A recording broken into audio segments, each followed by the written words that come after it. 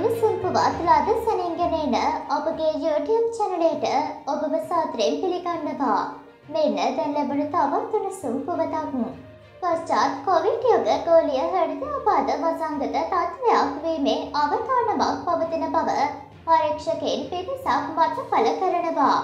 ඒ ප්‍රාථමික සෛල ක්‍රියාවලි පිළිබඳ සිදු කළ පරීක්ෂණයක ප්‍රතිඵල මතයි. ජපන් විශේෂඥයින් පිරිසක් එම පරීක්ෂණ වාර්තාව ප්‍රකාශයට පත් කිරීමෙන් කොරෝනා වෛරසයේ බලපෑම මත ඇතිවන දීර්ඝකාලීන සංකරතා අනාගතයේදී වැඩි වශයෙන් හෘදයාබාධ සඳහා ඉඩ විවර කරනු ඇති බවටයි පුරකථනය කර ඇත්තේ.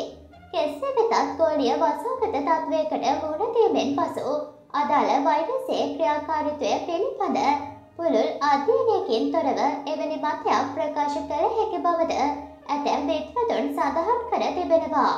මේ අතර සෞඛ්‍ය අමාත්‍යංශය පසුගියදා ප්‍රකාශ කළේ COVID-19 JN1 උප ප්‍රභේදය ලොව රටවල් රැසක ව්‍යාප්ත වත් එය ශ්‍රී ලංකාවට අවම බලපෑමක් එල්ල කරනු ඇති බවයි. මෙවැනුනි සම්පුවත් ලාද සැනින් දැන ගැනීම සඳහා අපගේ YouTube චැනලය සබස්ක්‍රයිබ් කර බෙල් අයිකනය ක්‍රියාත්මක කරන්න.